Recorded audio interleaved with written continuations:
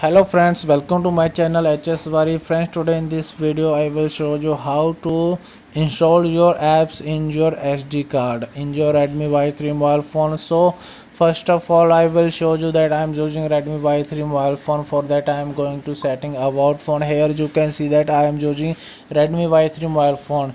In this mobile phone you have to do one setting inside the setting and after that uh, you are you, whenever you are installing any app that in, apps will be directly installed to your sd card.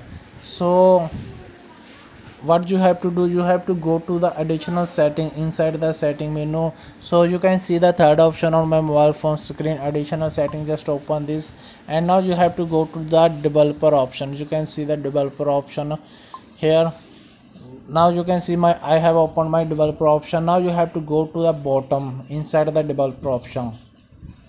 Here you can see the third option on my mobile phone screen. Force allow app to write on external storage. Just you have to enable from here after enabling this. Please remember do not remove your sd card and uh, after enabling this uh, every application you are going to install will install on your SD card.